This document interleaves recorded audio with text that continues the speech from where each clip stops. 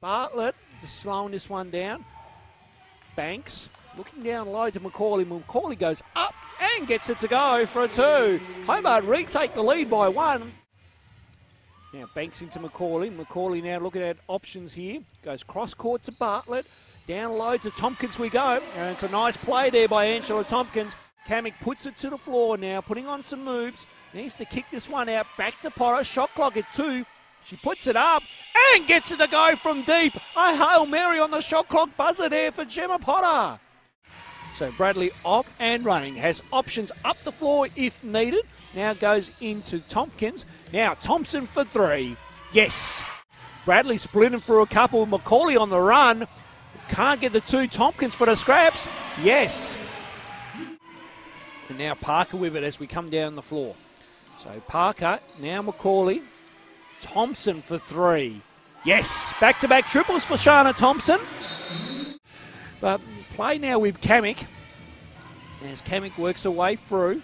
Now the shot goes up by Potter. Yes. And Gemma Potter from downtown. Thompson looking at her options as well too. Here's Banks puts it to the floor. Shot clock at five.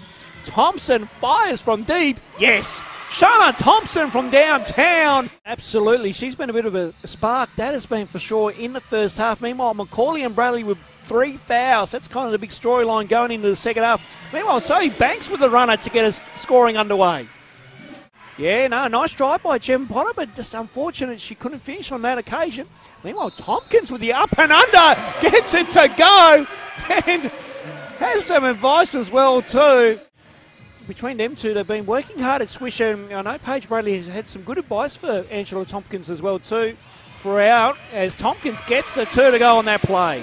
Or the NBL One app here on our live stream. Two other games being played tonight as well too. Update you on those. Meanwhile, uh, Potter from downtown to get scoring underway here, term number four. Bradley comes down the floor. And she needs to go to Parker. So Parker back to McCauley we go. McCauley decides to fire from deep. Yes. There it is. So nice job there by Caitlin Van Ness to knock down that mid-range jumper. Meanwhile, Bradley puts it to the floor. Kick out pass. Banks this time for three. Yes. There it is. As Potter brings the ball up the floor here for the Rangers. So Potter puts it to the floor. Nice drive and a nifty layup there as well Yep. too. Standard they can set for themselves here. Yeah, well, it's an opportunity, isn't it, to show Yeah. Show the coaching staff that you can talk on defense. What you don't want is to be minus eight. will pick up their first win is Kamick.